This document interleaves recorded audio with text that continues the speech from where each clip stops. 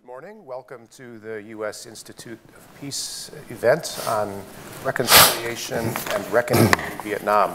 I'm Andrew Wells Dang with the Asia Center here at USIP.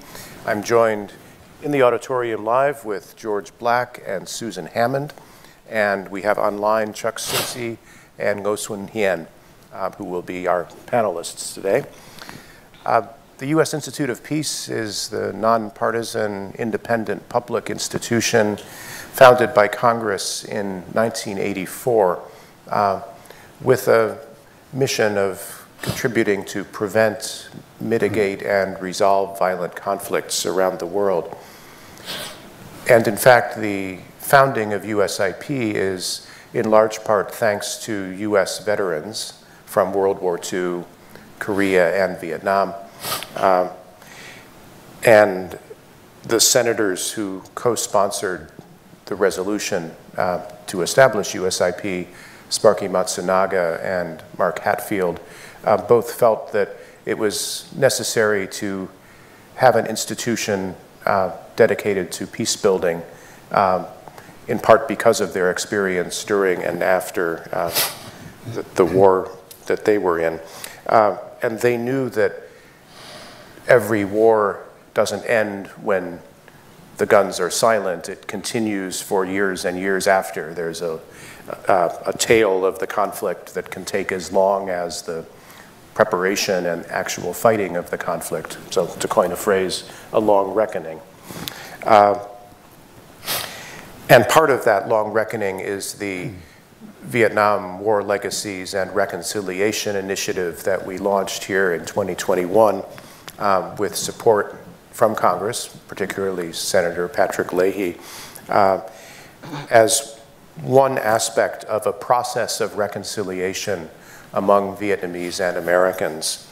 Uh, when we talk about reconciliation here from a peace building perspective, it's a, a process of social and political cohesion that is at an individual level as well as a communal and national level.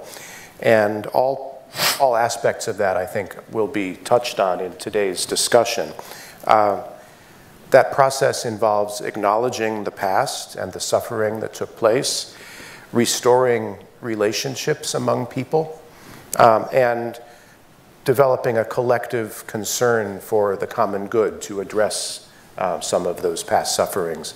And in a nutshell, that is the trajectory that George Black's just published book, the long reckoning, a story of war, peace, and redemption in Vietnam follows.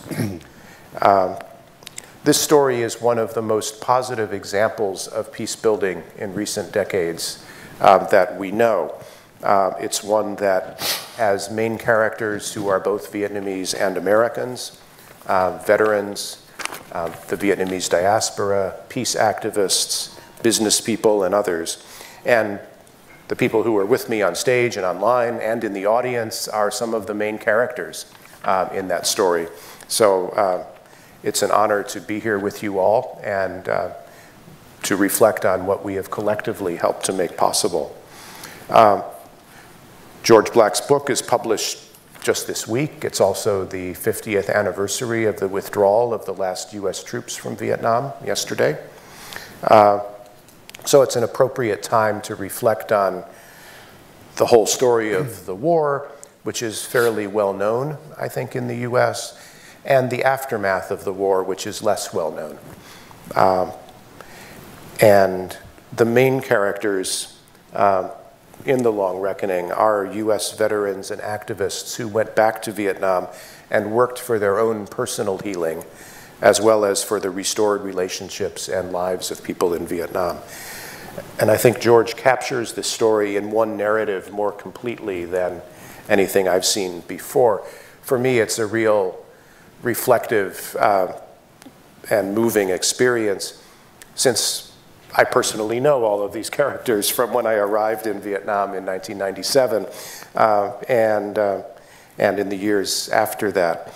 Um, George, I met later uh, when he was researching one of the articles that he published in the New York Times magazine a few years ago about Agent Orange in Laos. And he was looking for some obscure research source that I had worked on decades ago that I had long misplaced.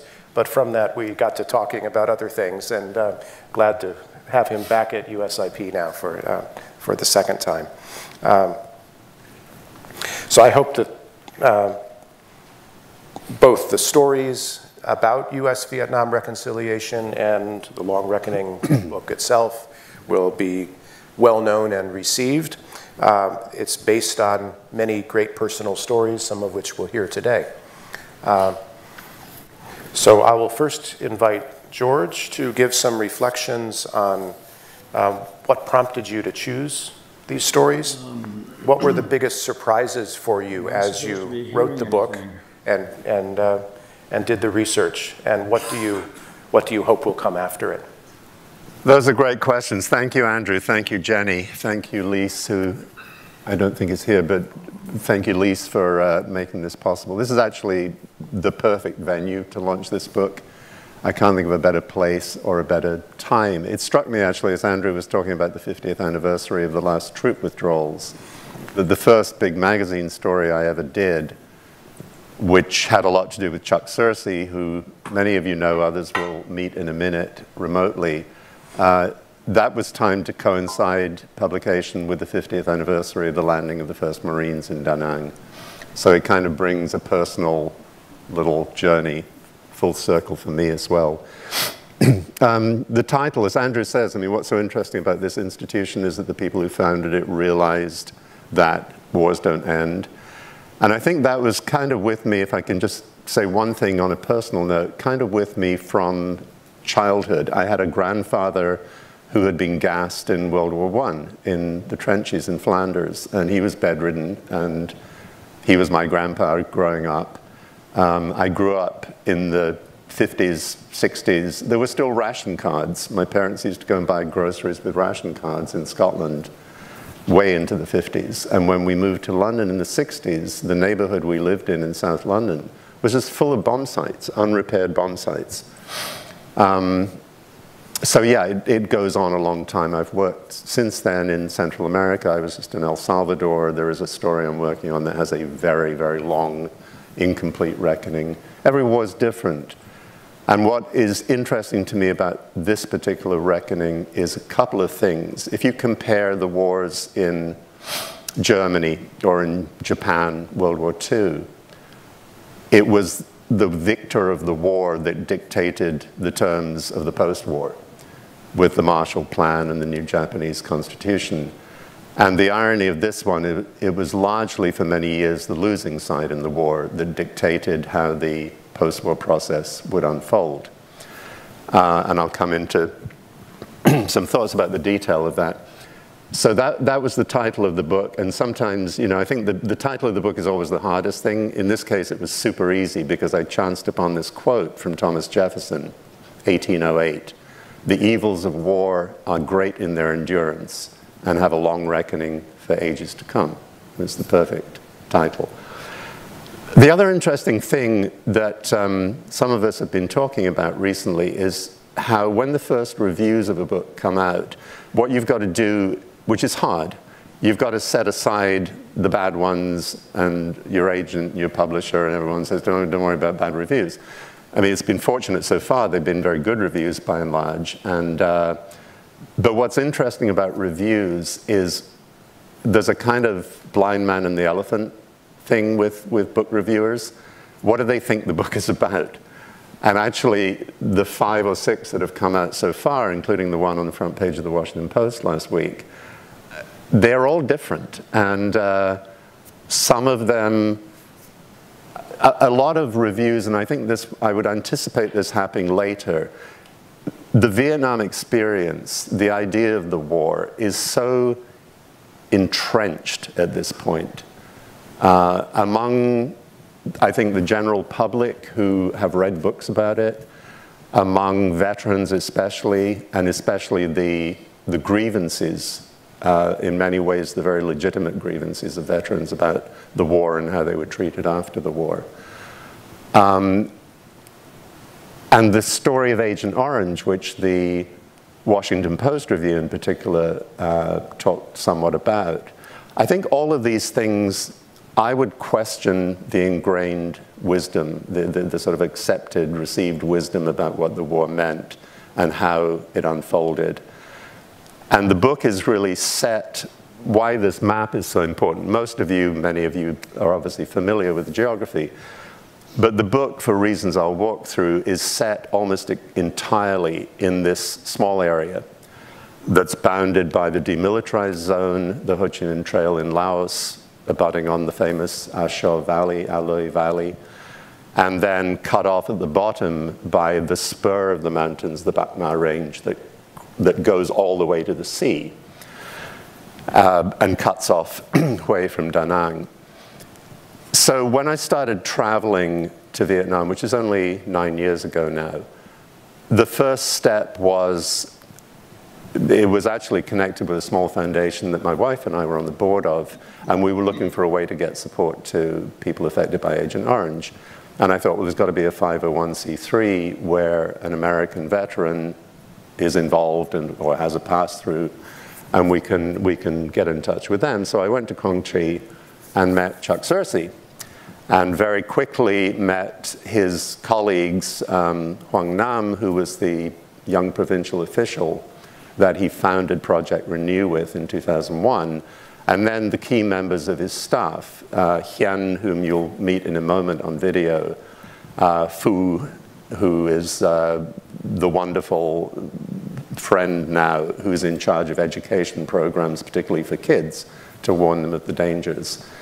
and then Chung, the executive director, or I can't remember what his title is exactly, but, uh, and then Yu Ling, who's the head of the operations and runs the women's team, which is an extraordinary thing. Uh, Tuan, who runs the victim assistance program. And it started off as a story about UXO. So there's Chuck in Saigon uh, during the Tet Offensive um, in January 68. And the work of Project Renew, which is where this story got kicked off, Quang Tri, above any other province, is saturated with unexploded ordnance. And the, the program that has been developed there, not just by Project Renew, by Norwegian People's Aid, by other institutions, Peace Trees, which was actually the first to go in, it really is not just a model for Vietnam. I remember being at a panel here a couple of years ago where officials, government officials from both sides were saying, you know, this is not just a model for Vietnam, this is a model for the world. So this is a cache of uh, munitions that were found at the base of the rock pile, the famous um, rock pile that was a Marine helicopter base with an artillery um, position. And this is Fu on, I think this was the first or second trip I made, 2014, 2015 visiting one of the scrap yards. There used to be a lot more than there are now, but for decades after the war, certainly many years, the local economy of Quang Tri that was so devastated was essentially kept alive by infusions of cash from scavenging unexploded metal, unexploded bombs and other, and other war detritus. And Fu grew up in a small village on the famous McNamara line. And his dad and he as a kid would go out and scavenge RPGs and grenades and rifles and all sorts of stuff until his father warned him how dangerous it was. Um, this is the state of Dong Ha immediately after the war, which actually leads into, if you like, the overarching political thesis I try to develop about the war, which is the first of the three parts of the book. And that is again, I think one of the great entrenched stories that people think they know about the war as a result of decades of books and films is that it was Ho Chi Minh and General Giap who ran the war. And Giap was the great mastermind of the victory, and Ho Chi Minh was the inspirational leader throughout the war. And it's largely not a true story. I mean, obviously, Giap was a military genius. He was the commander of forces at Dien Bien Phu in 54 that got rid of the French. And Ho Chi Minh was the inspirational leader. But by fairly early on in the war years, meaning 63, the country, the party, the policy was largely being dictated by this man who's in the center next to Ho Chi Minh, um, Le Duan, who was a Stalinist, um, an extremely dogmatic um, Marxist. And more than anyone, dictated the political and military strategy of the war. And General Giap, meanwhile, that was Le Duan and Ho Chi Minh on a visit to Moscow for the Soviet Party Congress sometime in the 50s. General Giap, who's on the left here, in fact was really displaced from military, primary military influence by General Nguyen Chi Thanh, who's next to him. And he was the other, the only other five-star general in the People's Army of Vietnam, and he was the closest associate on the military front of Le Duan. And this is a photograph which I think was taken and distributed by the government in Hanoi to try and emphasize the unity of purpose. In fact, this is, on, this is right on the eve of the development of the final plan for the Tet Offensive. It's actually taken about three days before um, General Thanh died of a heart attack. Giap and Ho Chi Minh both expressed very deep reservations about the, um, the plan for the Tet Offensive. They thought it was impetuous, uh, ill-considered, premature. Le Lezuan wanted to trigger a mass insurrection. Um, Nguyen Chi Thanh was his great ally, and that's essentially the plan that went forward with some compromises, but really not that many. So on the second trip, I think it was, to um, I also spent some time in, in Hue and Da Nang and the backcountry of Thien province, A Luoi Valley. Manus Campbell is the second um, main veteran character. I think Chuck's story as a, civil, as a military intelligence analyst in Saigon and Manus's story as a marine grunt in the worst battlefields of Quang Tri, Hue, the A Luoi Valley at the worst time of the war. Their stories really bookend each other. They're, they're, two sides of the coin of the war at that period. Manus is leaning forward, center right in that photograph. This is taken at Con Thien, where he spent about six months. Um, he was also on the Ho Chi Minh Trail. The third thing is once you realized in, in Quang Tri particularly the, the sort of symbiosis between unexploded ordnance and, and uh, and Agent Orange destruction and the number of victims. A lot of that is to do with the way the operations were conducted. Before the flights came in to spray, the fighter bombers would come in and lay down cluster munitions, rockets, napalm. so I began to meet families who'd been affected by Agent Orange, um, which really, I mean, the richest experiences in the book and in the nine years I've been going there are these encounters with, with families. Um, and not seeing them as victims, but seeing them in, in many, many cases. And this has been the experience of veterans going back for many years, since the first ones started returning 30 odd years ago. The grace, I mean, I don't want to be sentimental about it, but the, the grace, the forgiveness, and there are many, many explanations for this. You know, the Chinese have been oppressing us for 2,000 years, the Americans were here for 10, the French were here for 100 or it's a Buddhist explanation, either that war is, you know, punishment for past sins, or, you know, it's, it's controlled by forces that are not rationally explicable. There, there are just, you, the more Vietnamese you talk to about this, some is it's a young country, you know, we want to be friends, we want to move forward and develop the economy. Um, we love American you know, commercial and market values. There's all sorts of reasons. But I began, this was about the point where I met Charles Bailey, uh, who was the head of the Ford Foundation office in Hanoi from 97 for the next decade. And Charles's philosophy has always been the cleaning up of the hotspots of dioxin in the old air bases is a wonderful, necessary thing. It's expensive, it's very doable, it, it involves a lot of technological ingenuity. Um, it was, relatively speaking, and I mean relatively in relation to the disabled question, relatively easy to finally get um, official approval from various parts of the US government, including eventually the Pentagon. But Charles's insistence, and I think Susan would agree with this, and anyone who's worked on Agent Orange would agree with this, is that the small amounts of aid can accomplish remarkable results to transform victims into something more than victims, into protagonists, into people who, who can lead independent and creative and productive lives. And this is a painter uh, who was, grew up um, in a village just north of, uh, of Bien Hoa in the famous war zone D, very, very heavily sprayed, born with terrible, terrible four limb disabilities. He's now a very successful painter. He's a mouth painter. And he's sort of emblematic of this idea that the aid that can go to quote unquote victims of Agent Orange, you know, in the rural areas, a gift of $1,000, the kind of thing that Tuan at Project Renew or Susan in her programs, $1,000 can be transformative to the life of a family.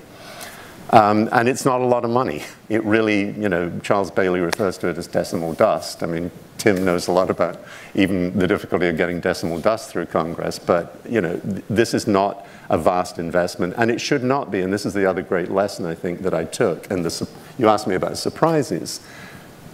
I had sort of initially got to know veterans who were, you know, had been in one way or another traumatized by the war, turned left in their politics, or they'd been part of the anti-war movement. But the more time I spent, I'd meet more and more veterans who came from all parts of the political spectrum. And there's one story, somebody that some of you will probably know. There's a Marine in uh, Da Nang, which is the biggest cluster of resident Marines, called David Clark. David is a very militant, you know, outspoken anti-war activist, married to a Vietnamese woman. And he works every year with a die-hard MAGA Trump supporter, um, former airborne warlord, as the unit was called. And every year, through uh, David's wife, Ushi, they buy bicycles at cost price through her connections. And the two of them take these bicycles to the A Shau Valley so that ethnic minority kids can get to school. And the politics are entirely immaterial. Um, there are other groups like that of, for example, conservative evangelicals. This should not, and unfortunately it often is, um, it shouldn't be a bipart it shouldn't be a partisan matter. There's obviously no reason. This is just simple humanitarian uh, need being met at fairly low cost. Susan's work was really the last piece of the puzzle and the last character who came into the book in a major way. And that was because we encountered each other through the work she was doing with Jackie Chagnon, who's on the left in this picture, in the Lao border area. And that was really, it was the final piece of the characters. It, it reinforced not only what I think of as this Venn diagram of characters, where you have veterans, you have scientists, you have humanitarian workers often coming out of the Quaker tradition, and you have the funder who came in and made a lot of the Agent Orange work possible, Charles Bailey at the Ford Foundation. And they all intersect. And at the center of that Venn diagram, I think uh, Chuck Searcy and another character who is very central to the book, who again, some of you know and some of you may have spent years trying to track down because she's famously elusive. Uh, and Susan finally introduced me to the, the legendary Lady Borton. Uh, who probably knows Vietnam, I think, more deeply than any other American, was the earliest American to settle there after the war. So anyway, the unifying factor here is this Venn diagram of characters and the geography, and the Ho Chi Minh Trail back in that original map, particularly that section that abuts Quang Tri, Thua Thien, the DMZ, that completes the core geography that I'm looking at, and everything really, every issue starting with Anne Mills Griffith's issue of, of those missing in action. This was where most of them went down because they were pilots. They were either flying into this area like Anne's brother and were shot down elsewhere, or they crashed on the Ho Chi Minh Trail in the mountains around the DMZ, in the A Shau Valley, particularly the helicopter uh, crews who went down there by the hundreds. Um, that's where the whole story, in a sense, starts of, you know, how from the beginning the difficulty was that, you know, if I can quote you, Anne, because we've talked about this, you know, the, the search for American MIAs was basically, again, a nonpartisan humanitarian obligation. You send young men to die, you have an obligation to find them.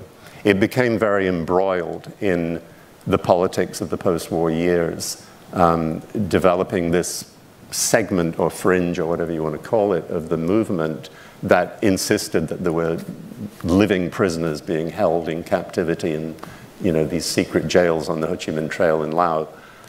Um, what, where I should backtrack, the last part of the puzzle is the work that was done in the A Shau Valley to develop really the paradigm that has driven the whole cleanup effort, which was to break through the fog of war that, you know, Agent Orange is everywhere, you can never deal with it, it's so pervasive. This is Tom Boivin, who was one of the team of Canadian scientists who came in to do a complete soup to nuts study from the tanks on the C-123 aircraft through to the disabled people in the villages of the A Luoi Valley to show exactly how dioxin worked. And once that was done, it broke through. By this time, there was collaboration between the two governments on the MIA issue. There was the first humanitarian aid going in from the United States, initially through private channels, then through government channels. And then finally, it became undeniable. The American veterans had already achieved recognition through the Agent Orange Act. The double standards were egregious. And the work that was done in the A Luoi Valley by this Canadian Vietnamese team, these are villagers collecting Katu ethnic villagers, um, whose kids are now probably getting bicycles from David Clark's project, collecting grass carp for sampling a Katu woman very reluctantly giving blood because to them this was giving up part of their spirit. Um, and they had been very militant supporters of the uh, PAVN, the, the, North Vietnamese army, during the war, more than any other ethnic group in the country. And this photograph I like particularly because it really is a photograph of the Venn diagram. Uh, it has on the far left of the photograph, Grant Bruce, who is another member of the Hatfield team, and Lady Borton in the center, and Chuck Searcy second from the right in the blue shirt. But what's really crucial about this photograph, and I think is the, the unifying theme of the whole book, I think the, the most important sentence in the book is actually in the prologue. And it's a portrait of a Vietnamese woman growing up in Quang Tri with disabled children. And it traces very sketchily her wartime experience, her post-war experience, and then this moment 20 years after the war when a small group of gray-haired American veterans come to the village and hear the stories. And the leader of the group says,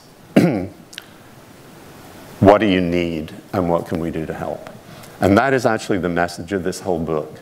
Every single one of these people Americans, Canadians, was driven primarily by their Vietnamese partners by asking that question. The Hatfield study was not the Hatfield study, it was the Hatfield 1080 Committee study. It was a Vietnamese project for Vietnamese. Um, Susan's work has been driven by those same impulses, and she'll talk about them of uh, going into villages. What do you need? What can we do to help? Um, and I think that's the most important theme. In the middle of, in the center of this photograph uh, with Lady is her, originally assigned from the um, government to be her companion, minder, whatever you want to call it, way back in the 70s, and uh, became a dear friend, Phuong.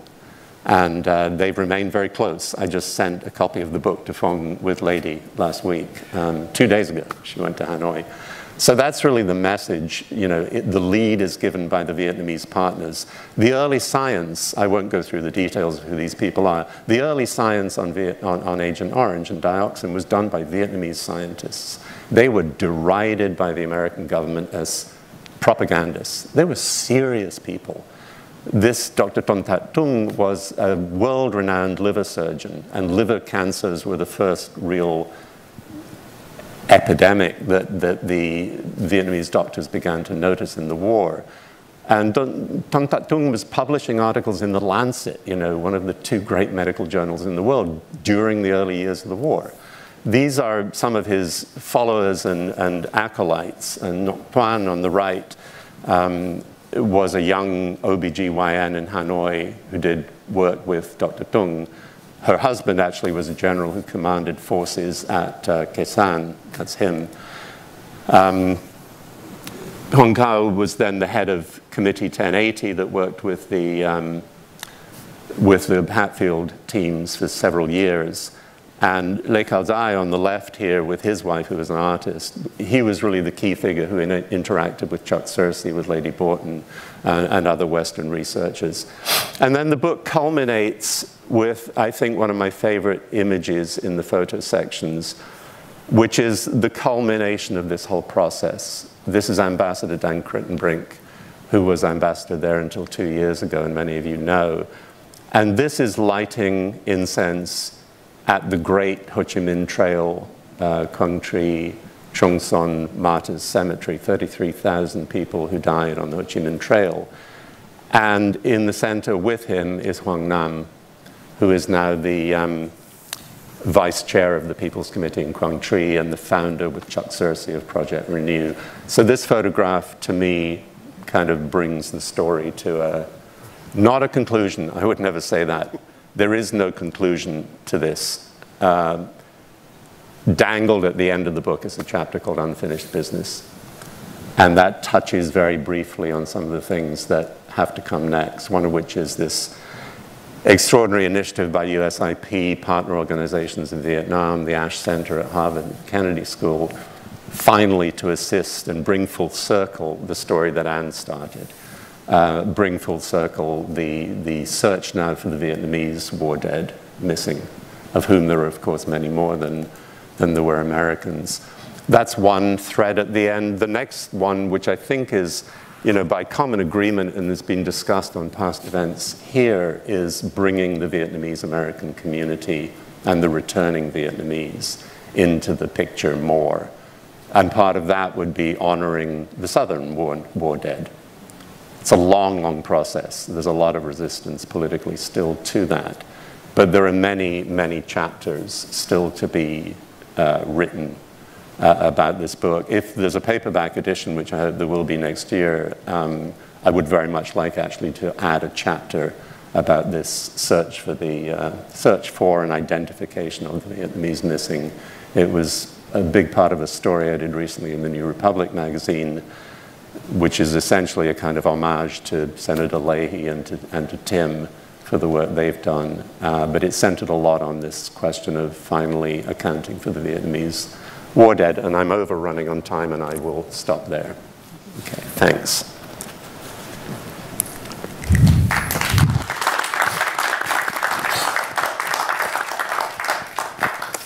Thanks very much, George, for a summary of uh, the long story through some compelling pictures uh, and, and personal recollections. Uh, we'll have time to discuss with George uh, and our other panelists. But before we do that, I would like to uh, introduce Chuck Searcy, who is joining us from Atlanta. Good morning, Chuck. Can you hear us all right? Good morning. Yes, I can. Okay. Can you hear me?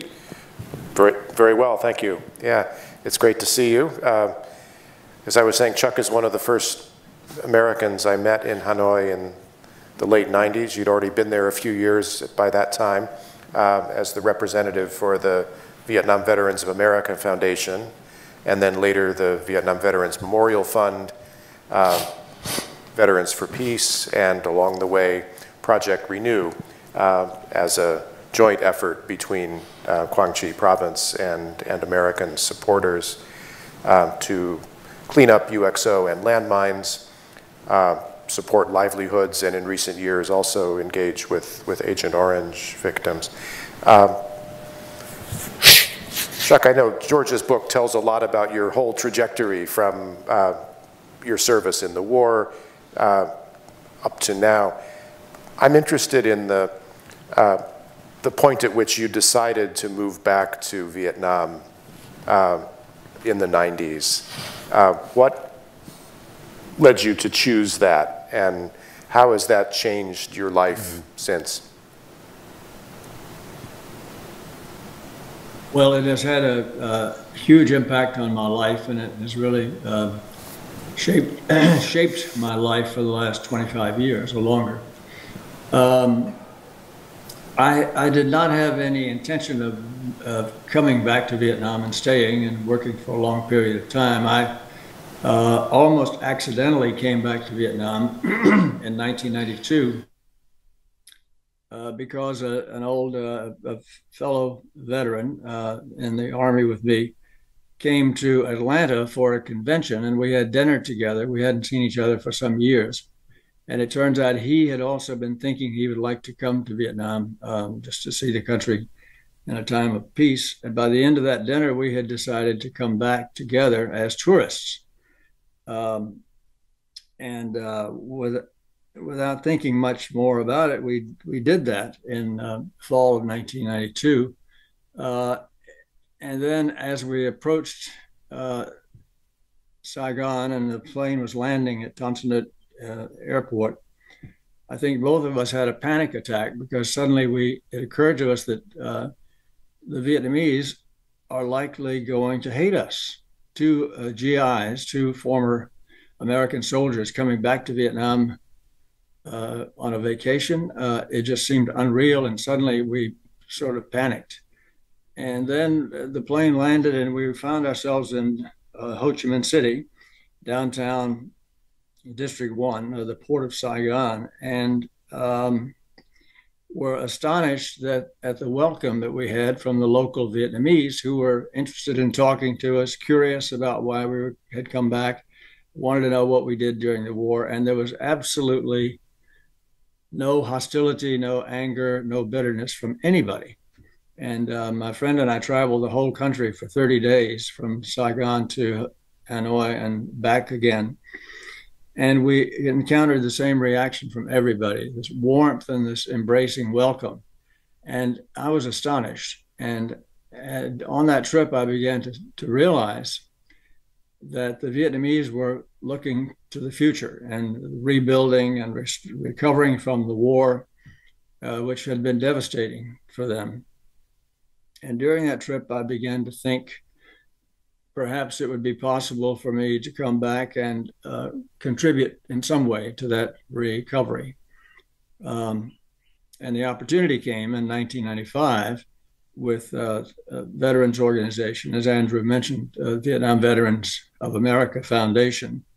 Um, and I came here for a three year project, a three year commitment, uh, helping to improve and uh, uh, expand a uh, an orthopedic uh, uh, workshop at the Children's Hospital in Hanoi and later at Bach Mai Hospital.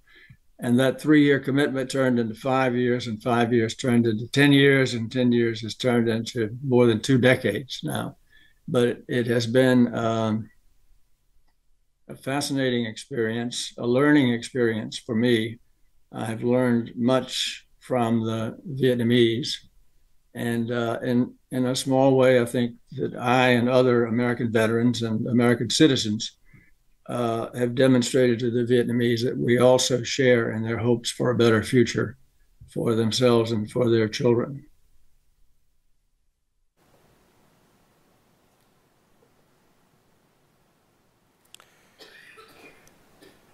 Chuck, what has changed in, in recent years? Uh, and uh, how do you how do you see the story's continuation at, at this point that you've been part of? Um, I think one of the most uh, significant changes that I have witnessed in uh, my time in Vietnam is the shift in in attitude of um, American officials, um, to a, to a lesser extent American citizens and veterans. That, that shift had already occurred. But when I first came here, the um, uh, the view of, of the U.S. government was that uh, we didn't really owe the Vietnamese anything. Uh, that was very hostile territory.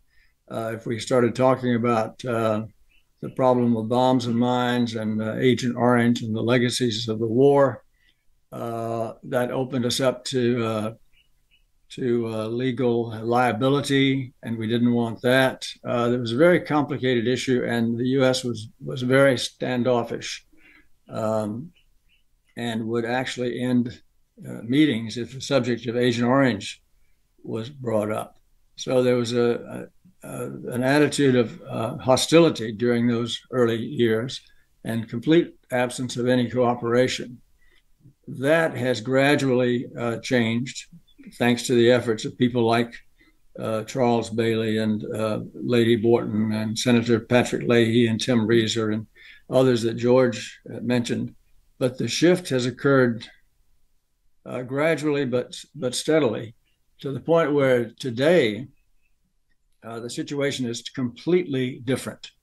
Not only is there an absence of any uh, hostility between the two sides, there's now um, complete cooperation at so many levels that it's almost uh, staggering. Uh, I never thought I would see the day, for example, when uh, the U.S. government not only is, is funding most of the cleanup effort um, in the uh, in ridding the country of bombs and mines, but also is contributing uh, funds and expertise for the dioxin cleanup, as George mentioned. But that's now extended to assistance to the families of uh, presumed victims of Agent Orange. Uh, the, the, the wording and the characterizations may be slightly different, but everybody knows that, that that's what the intent is to help families who've suffered from the consequences of the war. Um, that is now an open engagement. And in fact, the U.S. Embassy and American personnel here are looking for additional ways to engage. Um, uh, one example is um, the uh, War Remnants Museum in uh, Ho Chi Minh City, uh, which has changed names several times. It, when I first came here, it was called the American War Crimes Museum. Uh, it's changed now to the War Remnants Museum. But the staff there and the director, the, the leadership is planning uh, to refurbish that and to improve it um, and uh, they're now receiving uh, direct assistance from through USAID from American institution, institutions such as the Smithsonian Museum. Who could have imagined that that kind of cooperation would exist today? Uh, after years ago, uh, American personnel at the embassy were basically, uh, if not uh, prohibited, they were discouraged from from going to any sites such as this. Now it's a completely different picture um, the U.S. is cooperating with Vietnamese uh, officials in Thua Thien Hue and, and the Veterans Association to open up and to clear of bombs and mines uh, safely um, a site which resonates in the history books for Americans uh, called Hamburger Hill. Uh, that is being turned into a peace park for tourists and for veterans and others, students. And the U.S. is cooperating, the U.S paid for the the uh, uh, bomb and mine cleanup, and is cooperating in other ways. So so that, that's those are examples of the of the sea change that has occurred over the last uh, couple of decades in the um, the attitudes between the two governments and people and our levels of cooperation. Yeah, thanks. And uh, you know, at, at USIP, we're uh, excited to be part of some of those efforts that, that Chuck has mentioned um, together with uh, Vietnamese and, and U.S. government partners. Um, and uh, that is a significant change from um, 20 years ago or more when, when we were first coming to Hanoi. Um, dark days, as we call them, of the relationship. uh, do we have Ngo Xuan Hien on this uh, online?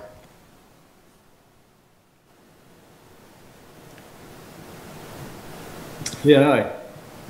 Hello. Good evening from Vietnam. Hi, Yan. How are you? I'm, I'm, very, I'm, I'm great. Thank you. I, I just finished uh, 10 kilometers uh, run. Uh, there you are on, on picture. Great. to refresh myself. Thanks so much for joining us. And uh, uh, it's my honor. So, uh, Hien is uh, the development and uh, community manager at Project Renew in Quang Tri and uh, has been active in uh, this work to clean up um, the consequences of war for, for most of your life, right? Uh, and um, you are also one of the main characters in, in the long reckoning um, of the people that George met and identified as the, the core uh, team uh, working in, in central Vietnam. Um, and you, you have a uh, uh, moving and impressive life story yourself. Um, how did it come about that you started working with U.S. veterans uh, like Chuck Searcy? And what has that meant to you in your career um, in, in light of your, your life story? Uh, thank you very much, uh, Andrew, for your question. Um, this year uh, marks my 15, 50, 15th uh, year of uh, my joining Project Renew. Yep.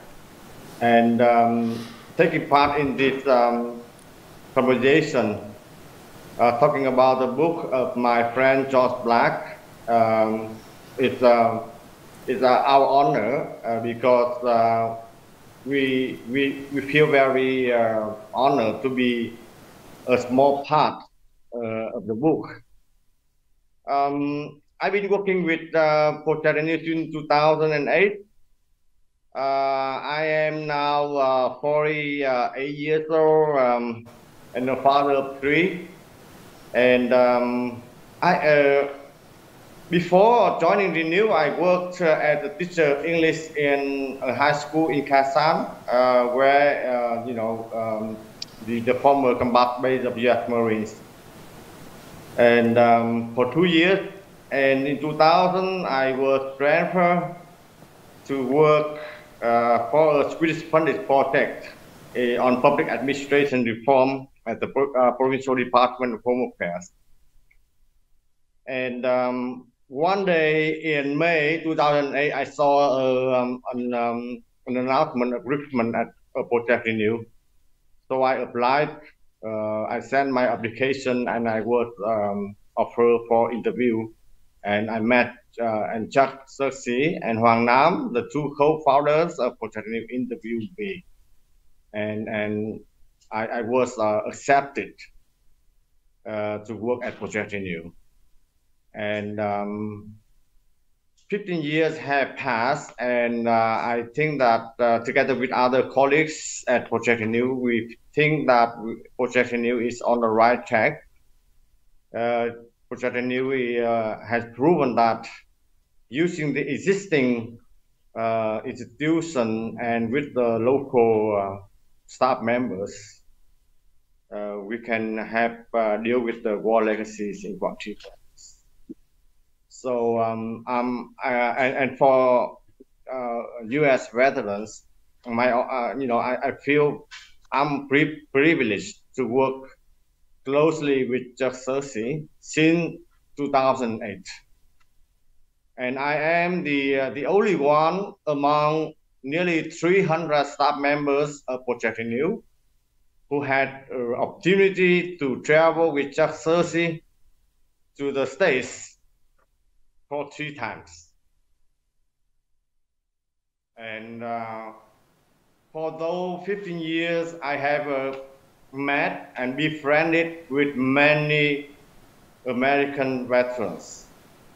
Most of them uh, are the same, uh, as so as my late mother. You know, my mother, she was a Viet, she was a Viet Cong. She she, uh, in 67, 69, the period uh, that saw the fierce fighting between the, the, uh, the NVA and the U.S. Marines with ARVN in Quang Tri province, and she was three times wounded. And um, when I told her about uh, my intention to work for Project Renew, she was totally supportive and uh, it was in 2009 and i was contemplate, contemplating introducing my mother to success but then she passed away in september 2009 just one year after i, I joined project renew but I think that is the all the um, um, I think that she's uh, yeah she, she you know yeah, up in heaven she's always you know looking down you know on her son. She knows that uh, together with our co- other colleagues we are doing the important work, life-saving work to help reduce the number of deaths and injuries from 150 per year during the from 95 up to 2015 down to almost zero. In 2018, it was the first year that we had that record. And we were, we were, we were managed to sustain that record for four years, and that time happened again. So it's a grim reminder that the, uh, the lingering impact of U.S. bombs and mines. It, it, it reminds us, uh, us of the need that we need to double our work and interventions to help the local communities live safely. And um, for those years, I have seen the such positive changes in the mutual relationship of our two countries. And um, yeah, I, I, always uh, tell my colleagues about that. It's, it's my dream or my wish that the U.S. and Vietnam we should uh, uh, work together for a brighter future. We put aside the past, but we look forward to a brighter and better future for the younger generation. I have three children, and three of them speak English, and I hope one day they would be traveling to the States for higher education. So it's like one of the things that is, is mutual not only the, the, the government, but also people to people relationship.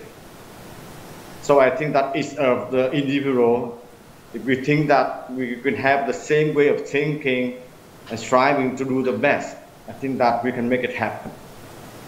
So 15 years we're working with US veterans means a lot to me. Yeah, thank you. Thank you, Hien, for what you've done to bring our countries closer together and acknowledge the past and, and, and build that better future. I want to turn now to our uh, final panelist, Susan Hammond, who is the Executive Director of the War Legacies Project, uh, working to support people affected by Agent Orange in Vietnam, Laos, and Cambodia. Uh, Susan, in addition to being a specialist on, on Agent Orange, you're also the daughter of a U.S. veteran. And I wonder how you reflect on your own background and experiences and how, how your father's uh, experiences have informed the work you're doing now. Yes, thank you, Andrew, and thank you for writing this amazing book, George. Um, and also, before I begin to answer that question, I want to spe uh, give special thanks to the Chino, Chino Foundation, a small family foundation out in California, that um, has supported my work ever since I started working on this issue of Agent Orange in, in Vietnam. And it's because of that small family foundation I'm able to do what I do today. Very few foundations, particularly after the Ford Foundation left Vietnam and ended this work, even begin to work on this issue. Um, I'm just showing a few pictures. I'm not going to talk to them, just to give you an, a, a sort of a sense of of the area and the people we're talking about. Um, and in one the other sort of link of all of this is the year 1968, because that was the year my father was in, in Vietnam, and Chuck was there, and Manus was there, Sally and Steve were there. Mm-hmm. Um, uh, Roger, I mean, uh, Jackie Chagnon, who I work with, was in there in 1968 as well. It's, it's kind of a, a, the year that all links our work. But my identity as a daughter of Vietnam um, veteran really informs my work in, in so many ways. Um, not only do I focus on the impacts of Agent Orange in Cambodia, Laos, and Vietnam, but also the impacts on veterans and their children. Um, another part of the story that isn't told very much in the US is um, the impact of Agent Orange, potential impact of Agent Orange on the health of children of, of veterans who came back, just like we don't know a whole lot about the impacts on the Vietnamese Americans. Um, and it was my father's experience um, in Vietnam which brought me there for the first time when I was in the region in 1991 traveling, and it had just opened up to, to foreign tourists. And even though my passport said if I went to Vietnam, I would be trading with the enemy, I went. And that experience where I just saw the scars of the war and the poverty, um, in part caused by our 20 year plus embargo um, on the country, really made me feel like I had to do something. I had to learn more. And I was also trying to understand why my father was gone for almost three years of my life as a child. Why Vietnam? What was so important about Vietnam? And honestly, I haven't answered that question yet. And you know, I'm now in my late 50s. Um, but that trip brought me to what I would steal from Senator Leahy, the title of his, his autobiography, to the road taken I, that trip changed my, the whole trajectory of my life, and I knew I wanted to do more in Vietnam. And luckily, when I was in grad school in New York, I met John McAuliffe, who was um, the director of the U.S. Indo what was called then the U.S. Indochina Reconciliation Project, and now the Fund for Reconciliation and Development. And that's where I began to meet many of the Vietnamese through the various conferences and events and people-to-people -people exchanges that FRD coordinated that's where I met people like Lê Cao Dai and um, Dr. Phi Phi. I met Lady Borton. I met Chuck Searcy. I met all of the characters who were part of the Long Reckoning. And they guided me in this next step of once normalization of relations between the US, Cambodia, and Laos um, occurred, the war legacy issues were there. They needed, something needed to be done. Um, and thanks again to the work of Anne Mills Griffiths that launched us into this um, ability to work on the hard issues together with, with Vietnam and then, well, less so with Laos and Cambodia, but we're getting there. Um, about the same time, my father developed Parkinson's disease because of his um, exposure to Agent Orange during his, pro probably during his time in, in Da Nang not opposed to his time in Ho Chi Minh City. Um, and that, so then I had a more, also a personal uh, reason to do something about this issue. And with John, I met um, one of the first um, people who was um, impacted by Agent Orange in Hanoi when we went to the family of General Tu, I think it was.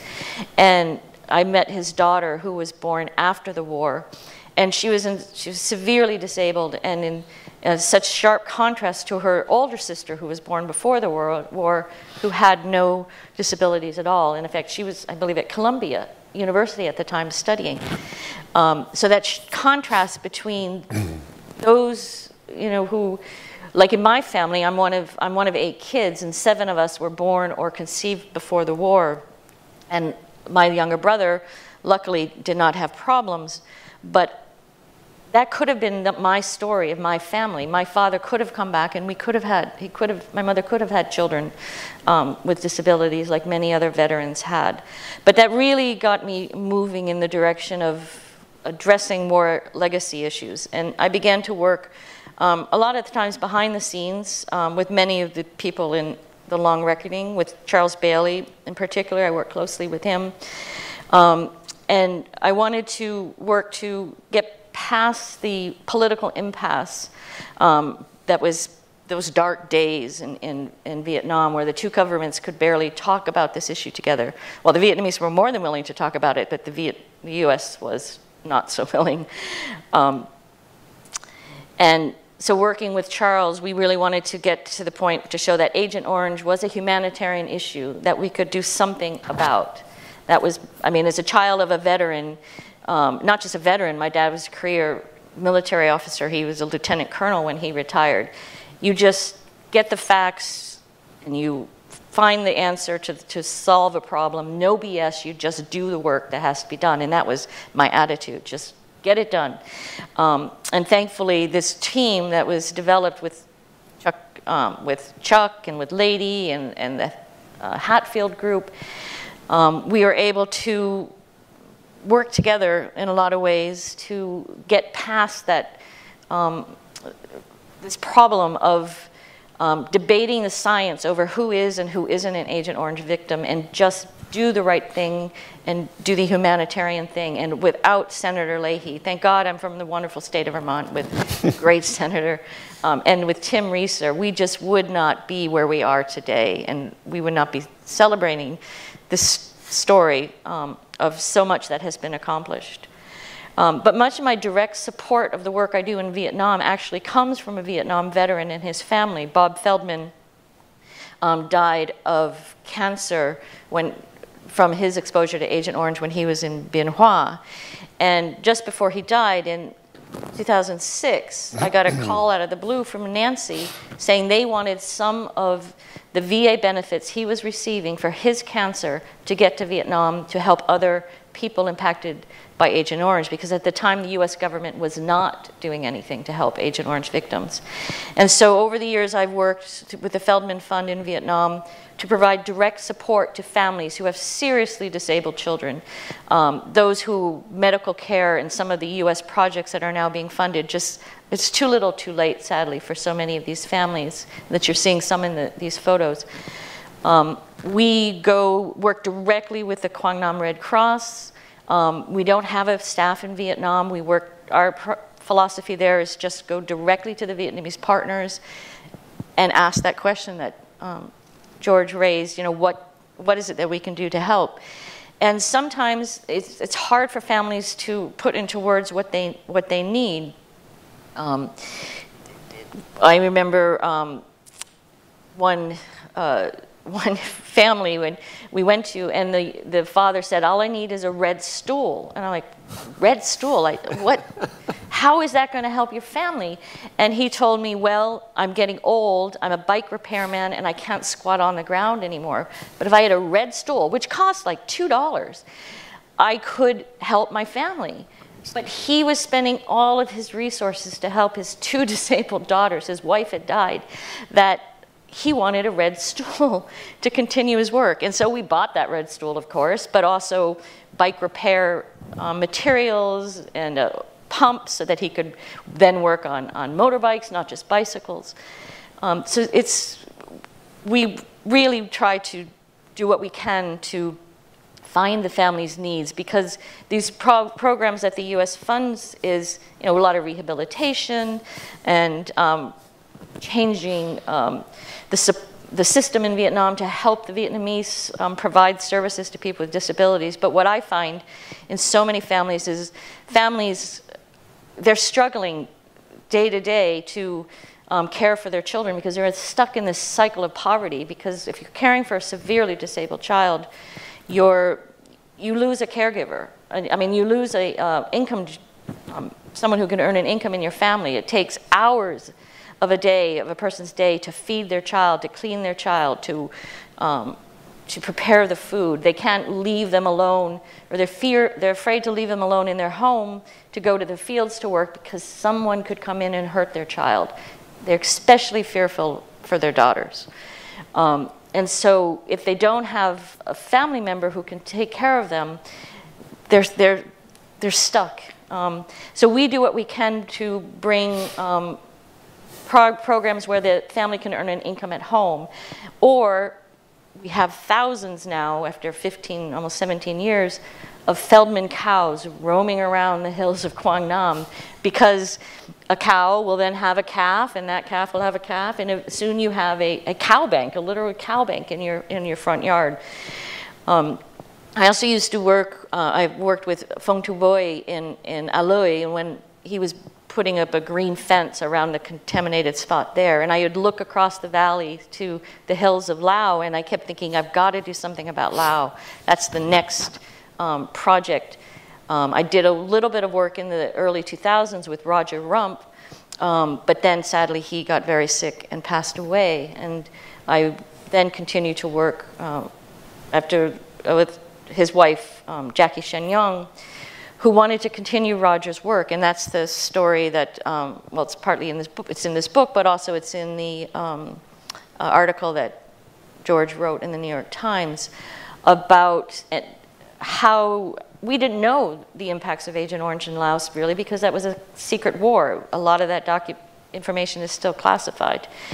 Um, the U.S. finally released the records in the early 2000s, which is how Roger was able to get some of his work started. And Hatfield also went in and tried to get a little bit of testing done at that time.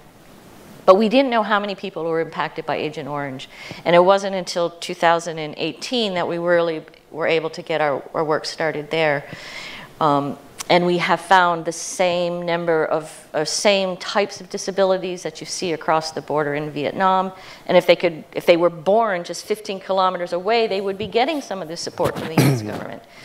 Um, it took, it's taken a long time to get that information, and, and we still need to, to do some further surveys. But thanks again to George's article in the Times and the work of Leahy and um, Tim, the U.S. has now finally been able to allocate um, in two different appropriations $3 million to Lao to help people along the Ho Chi Minh Trail that were sprayed with Agent Orange. Um, that project hasn't yet begun. The embassy in, Hanoi, in Vientiane tells me they're in negotiations. But I also know we have to make sure that the funding gets to those who we believe are impacted by Agent Orange and not just spread out widely to people who are may have disabilities regardless of cause. And finally, in Laos, what we don't really know is are there any um, dioxin hotspots? We, we know there won't be a Bien Hoa or a Da Nang, but um, we have heard from Air America pilots that there was a, um, a small spray program in, again, in 68 or 69 um, out, out of Long Tieng where they loaded planes with herbicides and they sprayed the areas around, around Long Tieng. Um, I suspect there is dioxin in that soil, and, and the appropriation allows for some funding to, to do that research, but we're hitting a wall with the U.S. Embassy, almost like we did back in the early 2000s, that they don't believe that there's dioxin there. It's not probably no dioxin hotspots, and I always I just say it's an easy thing to find out. You just test the soil. If it's there, we deal with it like we've done in Vietnam. Um, so there's a lot more to do in, in Laos. Um, thanks to a lot of the characters in the Long Reckoning, we've gotten this far in, in Vietnam, but we need, we need more to our team. We need, we need more um, to keep this work going. We need more people, we need more money. we need to put an end to this story eventually. Thank you, Susan. Uh, please join in thanking all of our uh, speakers. Uh, Anne, before you leave, do you have any uh, question or comments? I wanted to call on you. I know you have to go. Jenny has a mic behind you. Yes, in fact, you know how fascinated I am with all the good work you've been doing, and I appreciate y'all mentioning that is because of the long work that we did that we were able to finally, finally get to the situation where we could provide the kind of humanitarian assistance we needed. They're all project I believe in. It's not doesn't necessarily I may agree with every bit of the language that's used sometimes to make us feel more guilty than some of us really deserve. But it does mean that what you're doing is, in fact, re reconciling and, and addressing the damages that inflict people that are hurt so badly by warfare, which none of us support. So it's, uh, it's a pleasure to get to see you again. I hope, I'm sorry I have to leave so soon. Uh, I'm here a short time because I now live in gorgeous San Diego area in California. And Jay Veith, who was here earlier, will be uh, the incoming executive director of the league once we can get things sorted out. And he's very experienced too. So thank you all for what you do. Keep up the good humanitarian work. We'll do the same. And if it wasn't, she's right. If it wasn't for what we started earlier, I remember many times when the Lao or the Vietnamese would refuse to have English language training or humanitarian assistance or anything. Uh, to do with the war because they didn't want all those dangerous Americans running around.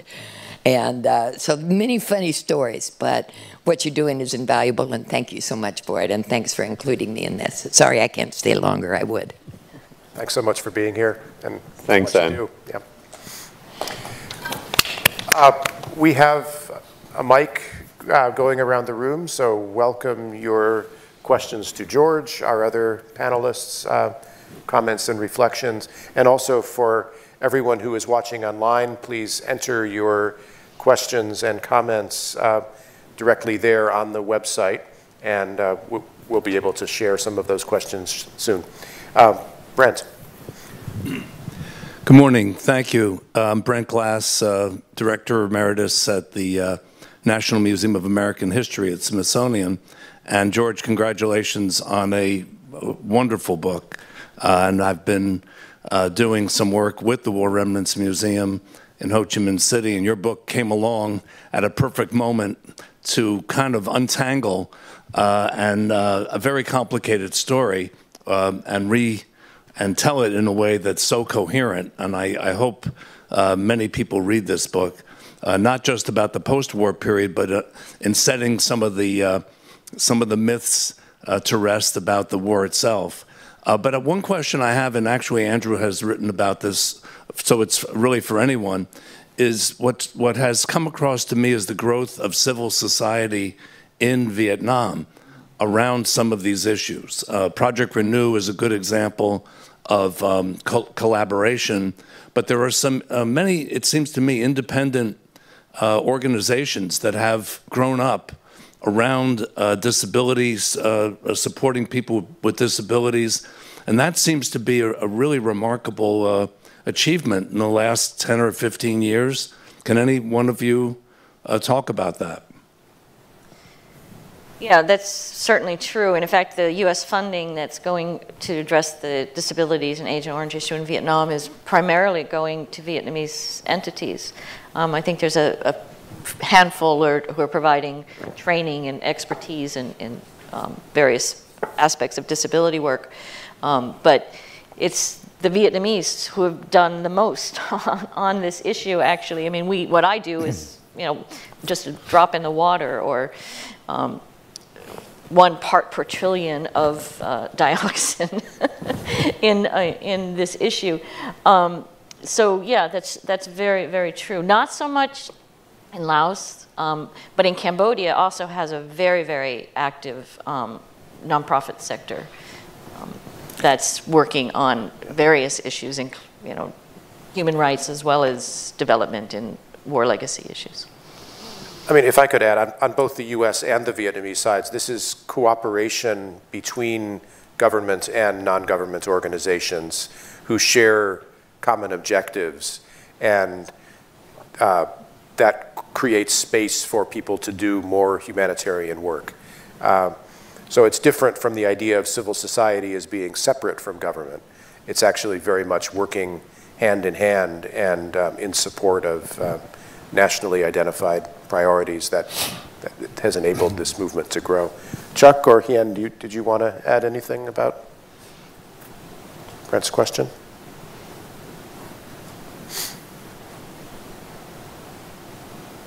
Let's go on and you, we'll come back to you. I think Chuck was going to Chuck, say. yeah. Is muted? You're muted.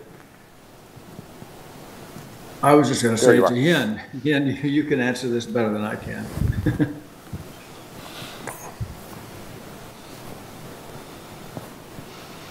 Um, so Chuck, you want me to provide uh, some further information about this, right?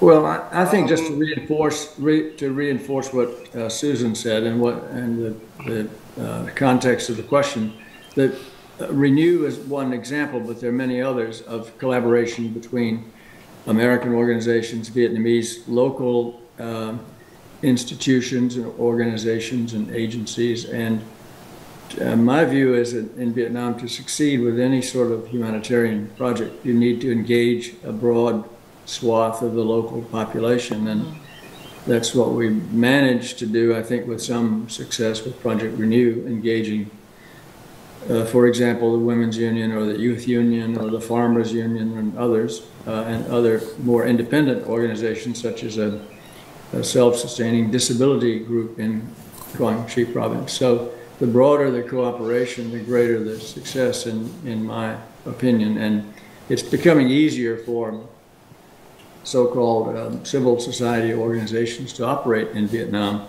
uh, without much uh, uh, suspicion from the government, which was the case two decades ago. So and I think that will continue to improve. Um, I would like to add a little bit of information about what Chuck and Susan have said about the um, the mutual uh, the uh, cooperation between uh, all of the stakeholders in addressing the uh, the uh, the uh, the last I think to me the last legacy of the war that is uh, Agent Orange kind of change because um, the past the past two decades have been impressive results and achievement made in in mitigating the impact of un, unexploded ordnance. I mean, in in Quang Tri province. But uh, according to what George Black put in in, in, in, in his book, is that the the legacy of Agent Orange still looms large. Uh, but um, with our experience, like just says that we need to in, engage all every single actor, uh, the government and the civil society, in addressing this uh, because this is we had uh, we had to base uh, we have to rely on those uh, existing institutions that that help to reach out to every single family uh, who are who have deal with with the this severe severe disabilities related to Agent Orange. And what we can do, uh, uh, we are very happy. Uh, in starting in 2021, we were able to to receive the funding from USAID under a consortium of five uh, local NGOs working in in in Hue, in Hue, in in, in Quang Tri. So it's the the what we, we, we think that we can have uh, to make the life with disabilities more bearable. Because uh, in, in, in Quang Tri province, uh, for example, the family now they have to take care of the disabled children they who are now in the late in the early 20s or early or, or early 30s. We cannot cure their disabilities, but we can make uh, we can have we, we can we can have uh, their parents, their caregivers, uh, to, uh, a little bit to, to lessen the, the burden uh, on taking care of the disabled children. So Thank that you. is what the the, the, the, the objective that Project Renew and others uh, organizations are looking forward to implementing. Thanks very much. question from Aaron. Thank you. Thank you very much. Hi, I'm Erin Steinhauer. I am the co founder of Vietnam Society. I'm just so glad. Uh, first, thank you so much for all of your amazing work. It's really heart um, warming for a Vietnamese American to see how much you've done for my country. Thank you. Second, uh, I'm so glad, George, that you brought in sort of at the almost your last sentence. Let's bring Vietnamese Americans into the conversation. Uh, reconciliation, in my mind, is about rebuilding bridges between people and not just countries. And people uh, such as Vietnamese Americans, which now there are 2.5 million of us in this country, um, have endured and have gone through uh, just as much suffering. Um, but we came to this country and we now, many of us are American citizens. We're doctors, lawyers, business executives. We have made it very well here. But we also like a seat at the table when we talk about reconciliation and rebuilding for the future.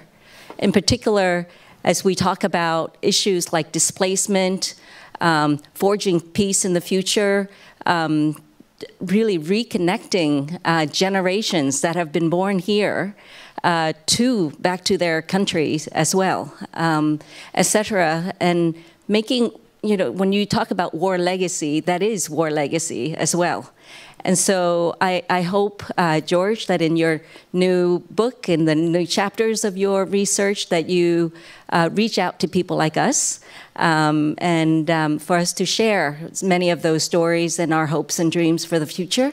And to Andrew with USIP, um, this is part of the American fabric. This is now uh, a, a, very beautiful, unique story, actually, that can be captured even in the American uh, Smithsonian American History Museum, because we are part of that too. And so um, I'm just encouraged by this conversation that at the very end, we're talking about the future and how we can get Vietnamese Americans involved. Thank you. Can I just respond to that, Aaron? Um, I would love to talk to you separately about this, um, even at this very immediate stage now of how to get the book and the message of the book out. Um, we're in the early stages of doing the famous book tour, and uh, one thing I particularly want to do, uh, the two audiences, if you like, the more specialized audiences that I want to reach in trying to push the book out is, first of all, the veterans community of both the Vietnam generation and the younger generation.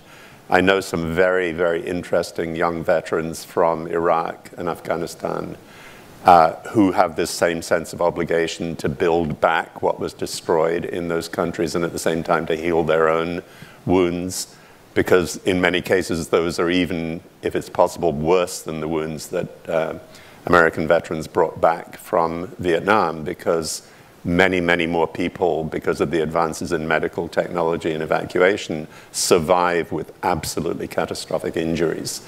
And uh, they have their own battles, which are very serious. And I want to bridge that generational veterans gap, but above all, the Vietnamese American community. And I would love to get your advice and other Vietnamese American leaders on how to approach, identify, arrange events that would appeal I've been talking to people in Seattle, for example, um, which seems to be very connected um, to the to the Vietnamese American community, some other cities. But if we could talk, I would really like to do that. Jenny, Andrew, what? uh, I- May I add a comment Happy- to Of course. can I comment on what Aaron and George just said? I, I totally agree. Uh, You know, for a couple of decades, uh, veterans and other people like Susan and um, the Chino Cienega Foundation and many other supporters have been a, a bridge uh, to bring about the progress that has occurred that we have talked about today. But in the future, uh, you know, a lot of us are getting older and we're not going to be around so, so long. And it's really essential, I think, to reach out to the Vietnamese American community, uh, a, a new generation of bright, uh, engaged, uh, very sensitive young people, younger than we are for sure. And they have, uh, they, they may want to forge stronger links with Vietnam. It's a different situation today than it was 20 or 30 years ago. And that's the future. Those are the people that, um, that uh, the Vietnamese who are still in need, who are still facing these terrible consequences of the war, um, need to help them. And uh, so it's really up to, to that younger generation, and I hope we can do a better job of engaging them and working together to build for the future and to create uh, longer and newer bridges to the future, because that's what's going to be essential to dealing with these problems of Agent Orange and uh, uh, uh, UXO, and uh, they're, they're not going to go away. They're not going to be solved overnight. Uh, they're they really uh, are becoming. It's clear to us that they are really a management, long-term management problem uh, to deal with uh, making people's lives better who are suffering these consequences of the war. And this uh, uh, Vietnamese Americans, the younger generation, really are the key to that success. Let's hear several questions from the online audience, and then we'll, John, um, have the last uh, comment. All right, we have one online question from Huang. Do you think American political support for resolving Vietnam War legacies and reconciliation with Vietnam will be positively or negatively affected by a changing of the guards over the next four to eight years? Just to clarify, is that question the changing of the guard in American politics are we talking about? Is that? I believe so. Yeah. Um, well, potentially profoundly. Uh, during the, the Trump years, well, I mean, every administration has had its own story with, with Vietnam. Um, I think the, if I can switch the subject very quickly to, to Ukraine, where my son is actually now doing frontline humanitarian relief work, and I'm very proud of him. He's working on the Bakhmut evacuation front. Um, there is a very disturbing trend now within the Republican Party to um, reduce commitments to foreign aid in general. Um, as we were saying earlier, there's nothing inherently that should be bipartisan, uh, should be partisan about relief for Vietnamese war legacies. But yeah, I am, I am quite anxious. I think the, the, general, the generational focus is also an important thing to keep hold of because there are new generations of wars in which we've been involved and they pose their own demands and financial requirements. Um, I think there's a lot of anxiety, which most of us in this room have been talking about for a while now, of you know, how you continue the congressional impetus with Senator Leahy no longer being there. And you know, all of us praying that Tim will stay on until he's 80, which uh, probably won't happen. But that, that's a huge challenge, I think, too. I mean, it's interesting to me that the congressional delegation that's about to go uh, is only composed of Democrats. Uh, it bothered me last fall when Senator Leahy was supposed to be going and then suffered a period of ill health that it was very, very difficult to get um, any Republican senators to join that delegation. So yeah, I'm, I'm concerned about whether it's four years, eight years, uh, how the momentum gets sustained. And I'll just add one other thing. Andrew asked me at the very beginning, what the biggest surprises were to me in, in researching and writing this book. and I would add one more, which is, without getting sentimental about it, um, the ability of ordinary American citizens to push the government and achieve the breakthroughs they did, and the Canadians who worked on the science. I mean, this was a stonewall opposition from the most powerful government in the world. And this handful of people, there are many more, obviously, than the, the half dozen I focus on in the book. But the power of those people to achieve change at a policy level just by you know, their, moral, their, their moral authority as veterans or as humanitarian aid workers or as scientists, and their doggedness and their persistence um, there's a lot of lessons there about how a, a, small number of people who understand the local needs profoundly um, can actually change policy. So that makes me optimistic. And I just want to add to that, I, I kind of hope that those who are resistant to international aid, particularly dealing with war legacy issues, look at this history of working on Agent Orange because it has led to deeper relationships within the region between the US and Vietnam. It's important for our geopolitical um, position there and security. And it was a lot of the reason that we are with this relationship now, particularly with Vietnam, is because of the two governments being able to hit, work together to address this really, really challenging, complex, politically sensitive on many levels issue. Yep. And it has been a bipartisan group of U.S. senators, mainly, who have normalized and developed their relationship with Vietnam over the last almost 30 years. So, especially John McCain and, and John Kerry, mm -hmm. among others who were veterans uh, serving in Congress at that time. And Senator Leahy on the appropriations, who helped get that funding. Yeah. Uh, John? Good morning. Um, this has been very impressive. Um, I think what you have done is captured the what I'd call the second stage, which is the post-normalization engagement and friendship and responsibility uh, stage, which is very important. Uh, Susan and Anne both referred to the earlier stage uh, the prequel, if you were, and can be your next book, which is how we got from 75 to 95. Um, if people are interested in it, I'll send Andrew the link for the uh, two-section webinar we did with American organizations that were involved in that work and Vietnamese organizations that were working with them when distrust was the real underlying theme. Um, I have one footnote to correct. Our dear friend Lady Borton was not the first American. Nina McCoy was the first American. Nina, who went in the late 70s with, as an English teacher with the Swedish Bai Bang project and then returned and represented the Social Science Research Council for many years in Hanoi.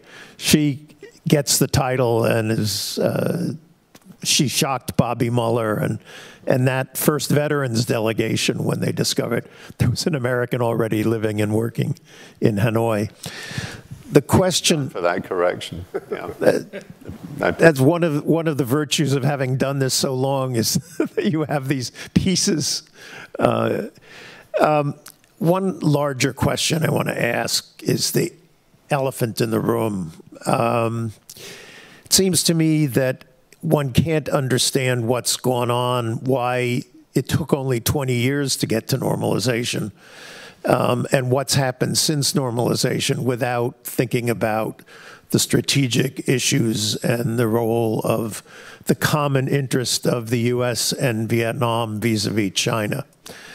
And the uh, I mean, the tragic irony of it is that it was our fear of China which drove us into this horrible, disastrous, unnecessary, hu humanly destructive war. But it's now our common fear of China that has, I don't know how much you evaluate, how you and Susan and Chuck evaluate that as, as the underlying factor that has pushed ahead this process, which I think you've admirably described what the human dimension of that is, what you know, what the moral dimension is, what the linkages question is. But I, I must say that I'm really feel that all that we have done would have not moved as far as it has without this underlying question. I do talk about that in the book to some degree. Um, I said to a friend I was staying with last night, the hardest presentation to make, I find, talking about these things is 20 minutes. Five minutes is easy, an hour is easy, and there are a lot of things I didn't get to, and that's one of them. No, I, I do discuss it in the book, and I think there are obviously those huge historical ironies of why the war was fought in the first place and what the reconciliation, in part, is driven by now.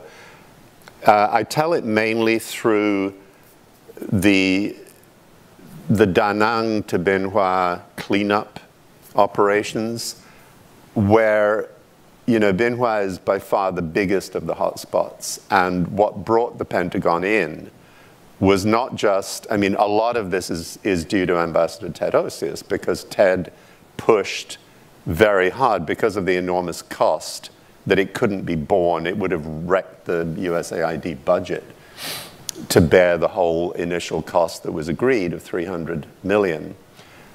But what swung it strategically was that Mattis and others saw the strategic importance. It had been building for several years, starting really with the Da Nang cleanup and the first you know, Coast Guard cutter going in, which ironically was a cutter that had been used in the war. Um, to, to sponsor Navy SEALs and special operations insertions, which is also kind of ironic. But the, the interesting thing about Bien Hoa, which I discuss in the book, is it's a major strategic fighter base. It's, it's, a, it's the major base in South Vietnam, the old South Vietnam, for the People's Air Force. And it has a squadron of fighter bombers whose job is basically protecting interests in the South China Sea. So yeah, you're absolutely right. Thank you, everyone, for coming and for your questions and reflections. Um, thanks again to George uh, and our other panelists, Yen, Chuck, and Susan, for sharing with us and for everyone for being here. Bye.